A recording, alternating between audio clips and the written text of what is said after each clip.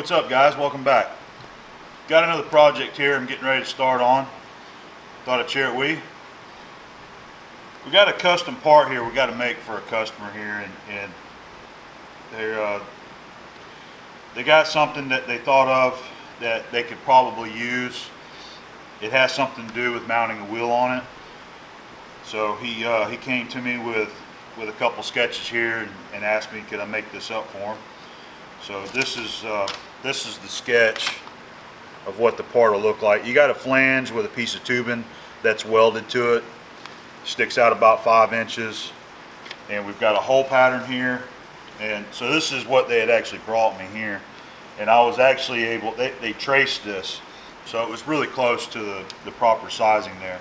I was actually able to measure this and come up with the bolt circle that I needed to know and this is all metric so it was it was actually pretty easy to figure it out once I was doing my measurements and everything. So what I've come up with is this is a 120 millimeter bolt circle right here. It'd be five holes drilled and tapped 10 millimeter 1.25 pitch. Okay?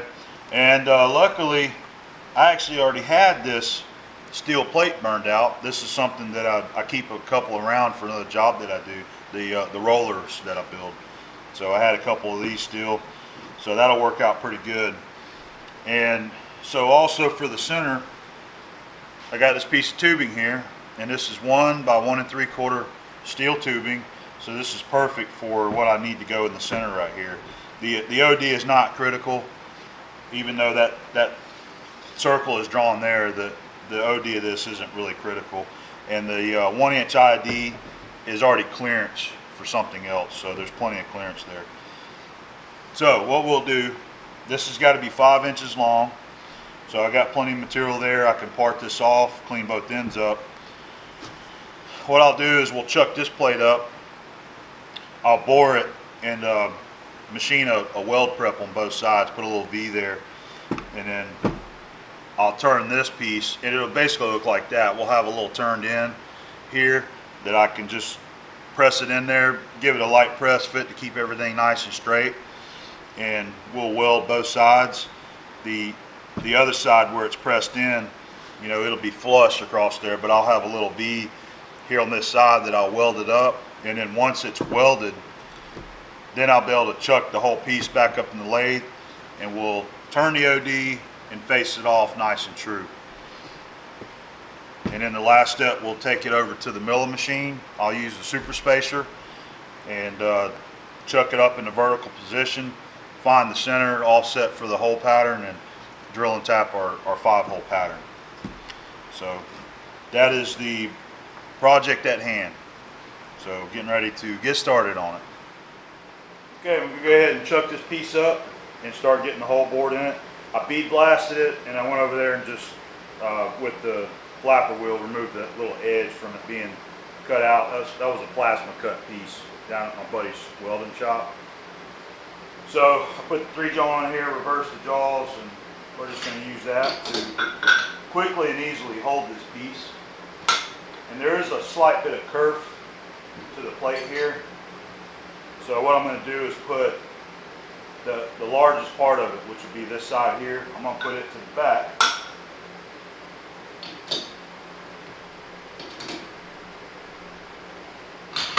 Okay. All right, that looks good. So center drill it, drill it with a half inch drill, and I'm going to use a 3 8 taper shank drill to uh, get the hole in here, and then we're going to bore it to inch and a half.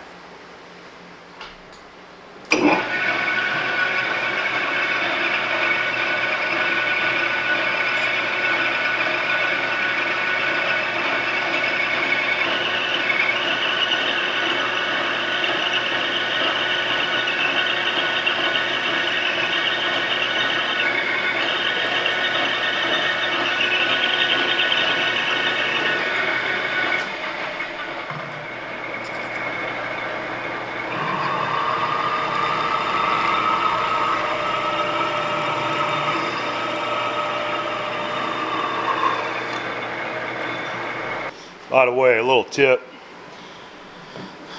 I've always been in the habit of putting the chuck keys back in the chuck so that they're always with the chuck whenever you're ready to use it. That's another one of my pet peeves is you can't find the, the, the chuck key whenever you go to use this thing.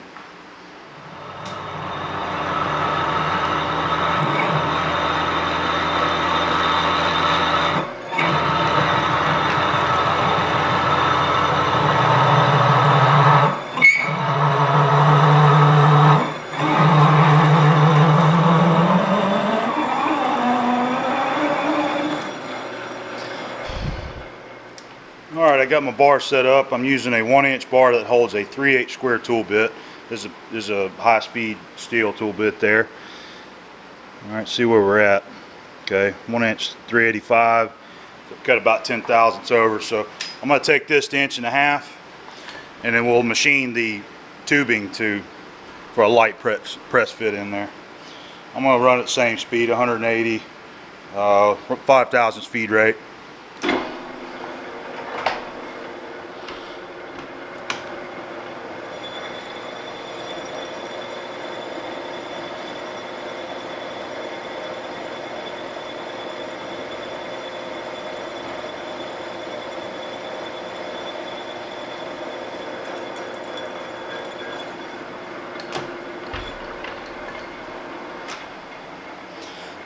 Chip landed right there in my shirt.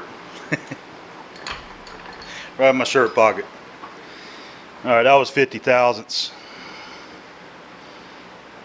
Okay, one inch 440. Take another 50.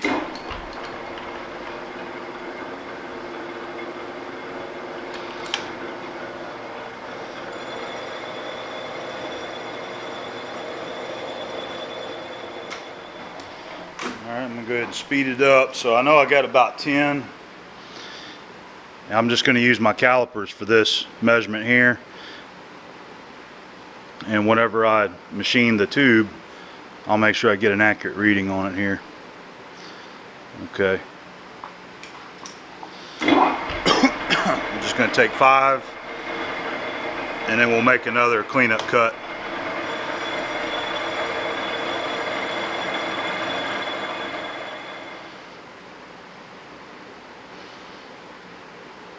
All right, so it looks like about seven. I'm just gonna dial in seven and, and that'll, that's where it'll be.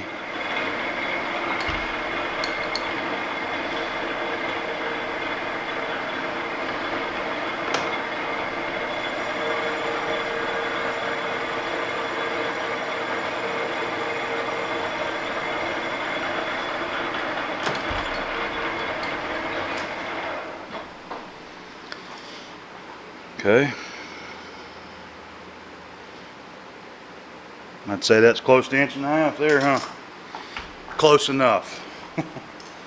All right, I'm going to take this tool bit out. That was a little tool bit that I was using right there. Just a little little chip breaker. And I've got a got a V tool here. Let's see which one I want to use. I'll probably use this one right here. Uh, a lot of people call this chamfering tool. Perfect for the 90 degree in on the boring bar. So what I want to do is, um, I think I had mentioned bevel on both sides, but I'm not. I'm not going to bevel both sides. I'm going to chamfer one side, and the uh, one side I'm going to cut a bevel on here, and that'll be for a, a, a weld prep. We'll fill it in when we weld it. I think I'll just start with the back side and uh, hit that chamfer.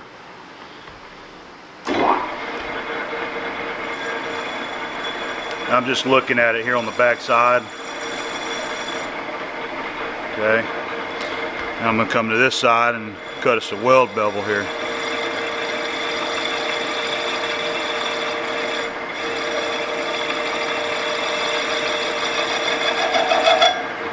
All right, starting to ring on me because of the speed and the thin, uh, thinness of the plate. I think that'll be fine right there because we'll have a bead on both sides. So we'll machine the tube with a with a bevel on it also to kind of match that one there. All right, so all right, that piece is going to come out of the lathe now, and I want to set up my four jaw chuck to do the machining on the tube because my uh, I just don't trust my three jaw. It doesn't run perfectly true, and I want it to run true. All right, got the four jaw all set. We're getting ready to indicate. A lot of you guys love watching me indicate, so I'm going to go ahead and show you this. And, and you see it's not tight yet, just so I'm not tricking you. Snug up two of the jaws. We'll get the Starrett indicator over here.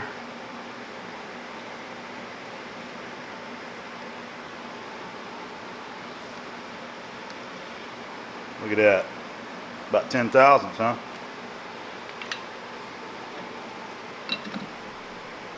So what I'm doing, I'm watching my needle. I'm not even really concerned about what the line is, what the number is. I'm just watching the needle for high, low. See, high, low, high, low. So, you know, I'm watching that for the high. So it's actually in between these two jaws right here, right? It doesn't matter. You just go to the closest one and adjust it because it's going to eventually bring it back to one of the jaws that you have to move. So, you know, I'll just go to that one and we'll snug it a little bit. See, there's your low, there's your high. We'll snug that one a little, and that one was loose. So I automatically know I'm going to the 180 jaw and I need to snug it up. And I just keep working it. Keep. Usually what I'm doing in my mind, I believe, is I'm, I'm watching for the low. And once I see that low, automatically pull it around 180 to that jaw.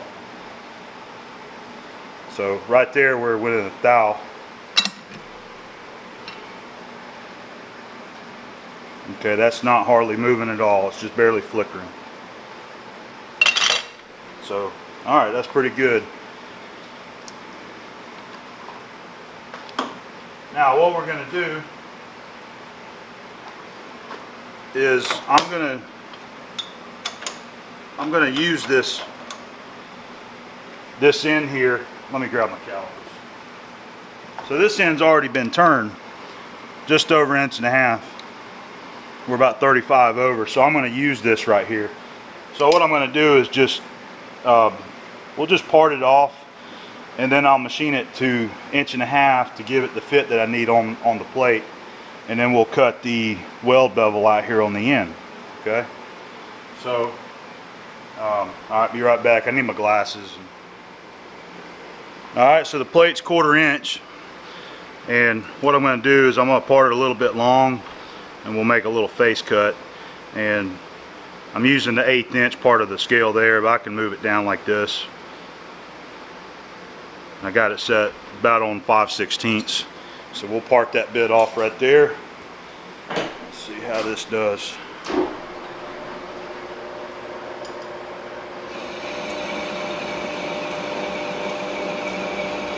running 180 just hand feeding just keeping quite a bit of pressure on the tool bit.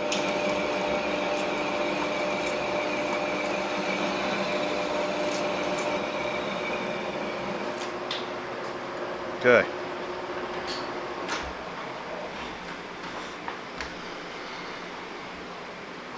Part tool out, and we'll put a turning tool in.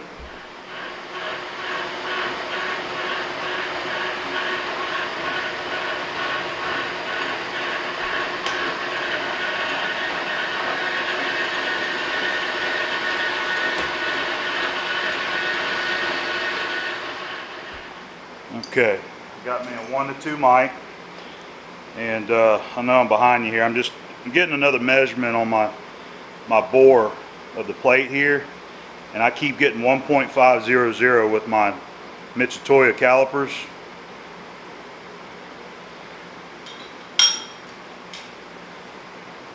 So I think I'm just going to shoot for something like 1 inch 502 or 501. I don't want it super tight. Just want it to hold it, hold it square in there. All right, so we're at one inch 518. I'm gonna go ahead and take another 10.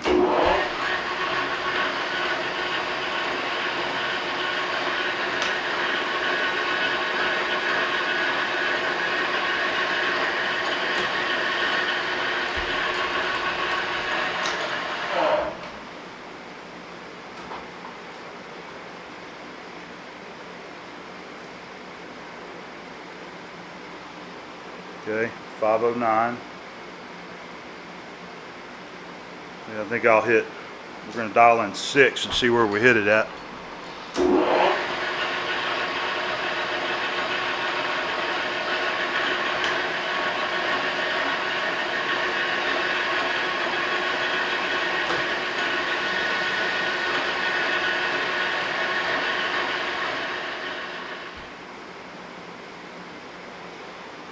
All right, 503 right there. So I'll see if I can hand fit it. May do have to do a little bit of filing there, but uh, I don't want to turn it anymore. So if you remember, I left it a little bit long. We left it a 16th long. And the reason for that is whenever I chuck this piece up after it's on here and it's welded, we're going to take a face cut and it, it'll make it, as long as I feel the weld bead in good, you'll be, you'll have a nice solid piece of steel all the way across. That's what we're going to shoot for anyway. Alright, so now I need to cut a, a weld bevel on here. So let me get that. I'm going to use the same kind of tool, chamfering tool. And I'm going to take a quick little measurement on the plate here. And I'm about an eighth inch back. So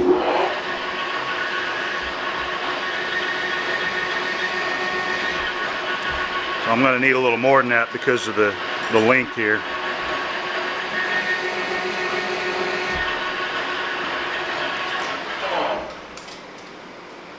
Yeah, so I got to come on back with that.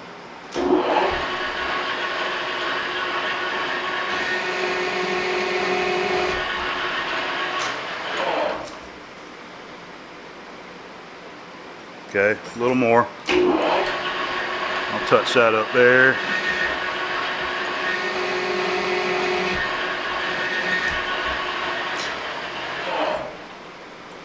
All right, that'll work. So you see the quarter inch mark, that's where the edge of our plate will be. All right. Uh, well, I already know this is going to be probably a little too tight for what I want it. Ain't got far to go in there. So I'm probably just going to take my little file here.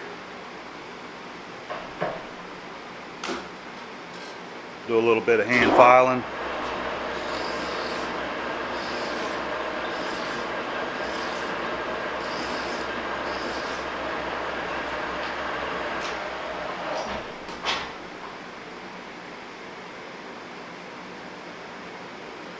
Okay, I think that'll work right there. We'll go over to the we'll go over to the arbor press and see if we can get that pressed in there. All right. Well, we can't press it in yet. We got to go ahead and part it part it to length. I just made me a little mark there to uh, kind of reference where I know I gotta where I gotta part it. So we'll get her indicated again.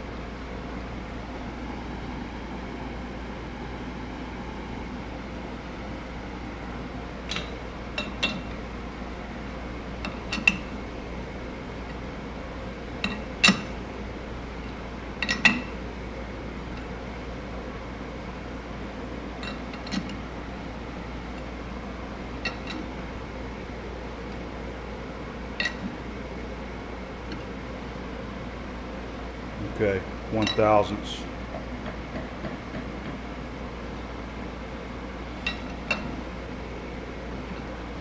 All right, that's uh, it's good. Okay, what I'm going to do here, use my hook scale. I'm going to grab the back. What's that? Okay, there it is.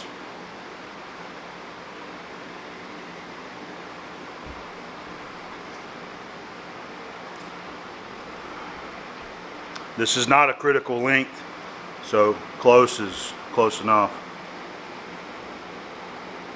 All right, I'm just looking down at here. Okay. It looks like five inches, so we'll leave the carriage set up there. Unhook my scale. Alright, we'll go ahead and get her parted off.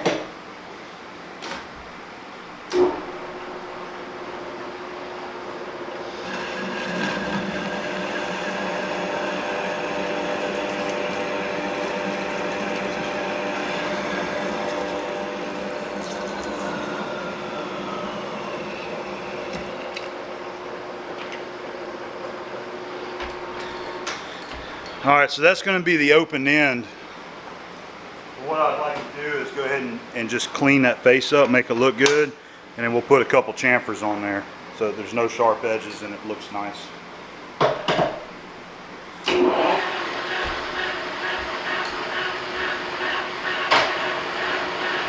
I'm just going to touch it.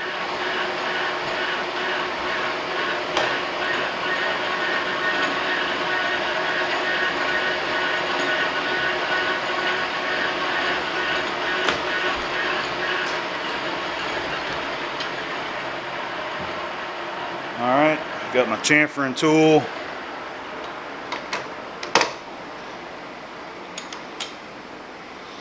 We'll do the same thing. I got to bring it up just a little for the uh, the inside.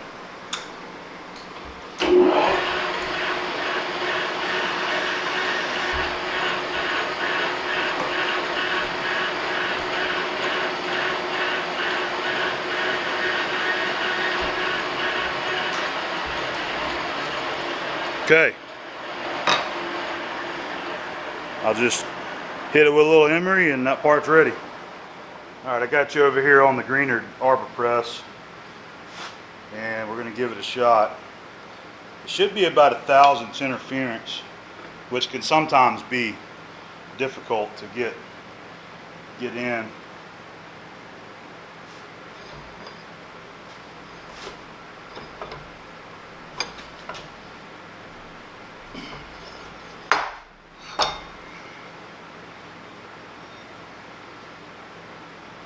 And what this is doing. It's wanting to stop. There it is. Yeah, it's shaving a little bit off.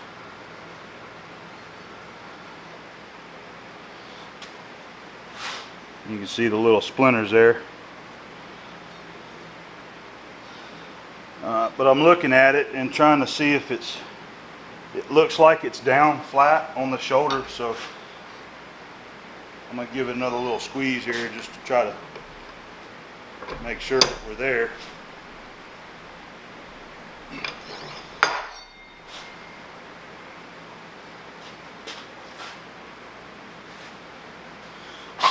okay all right so we'll come over here and, uh, we'll fire up TIG welder TIG weld that up. We'll run a bead around the outside. Hopefully I can do a good job with the TIG weld on this one. I'm going to use some 332nd steel TIG rods. These are ER70S-2. I'm about out of these things. I got to get me some more.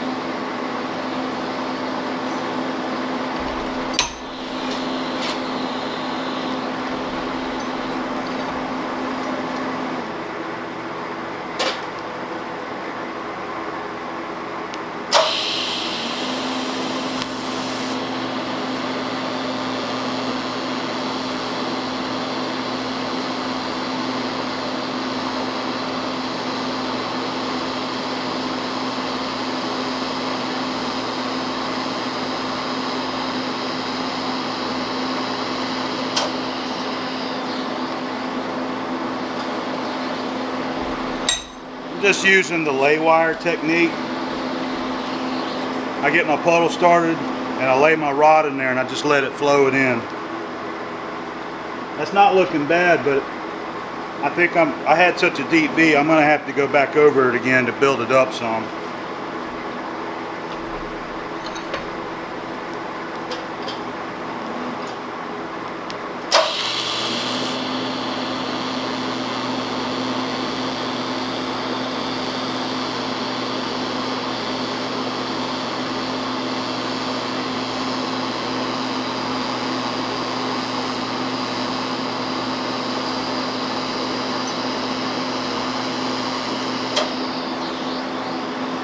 Okay.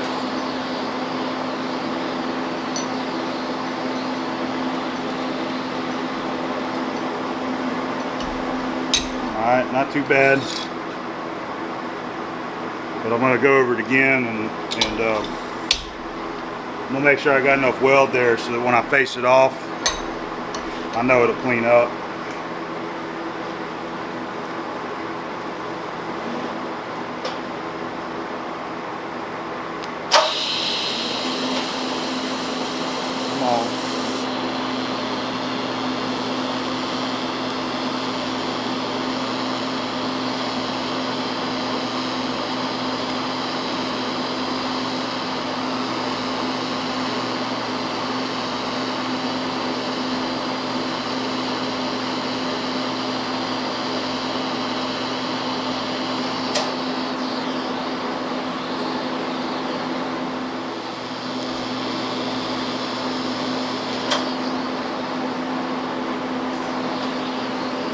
Okay.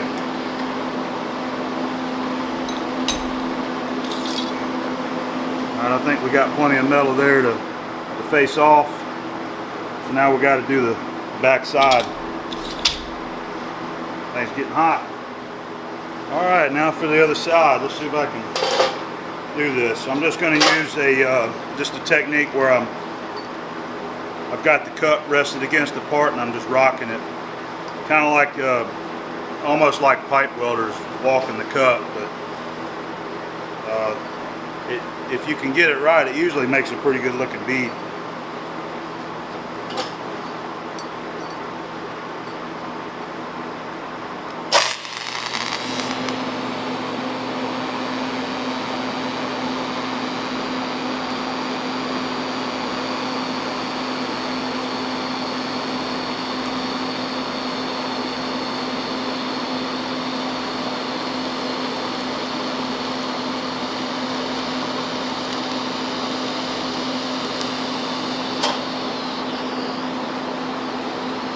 Bad.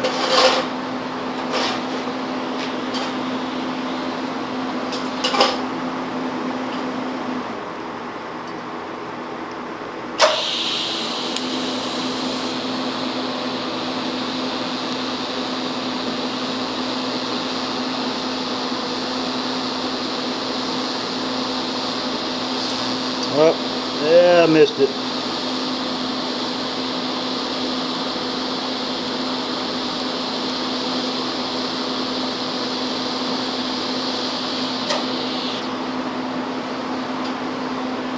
I think I saved it though. okay.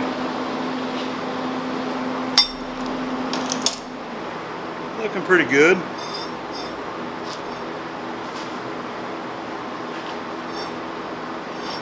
Alright, so just kind of move it around, make it a little easier to get to.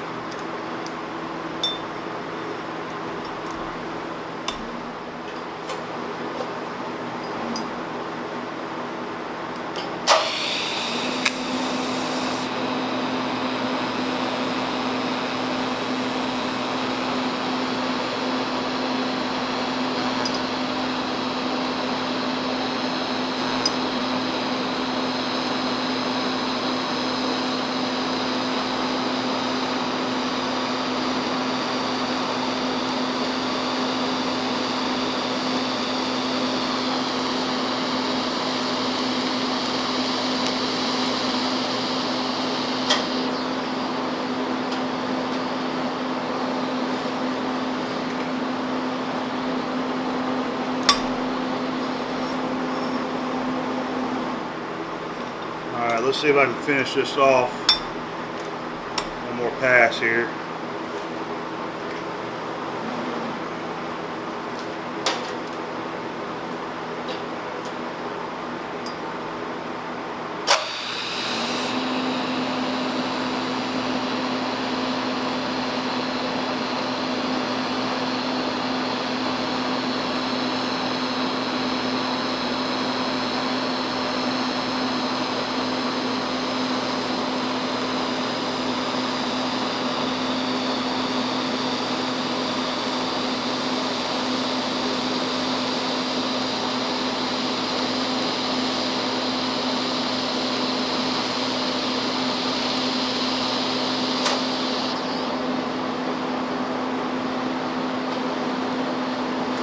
Okay.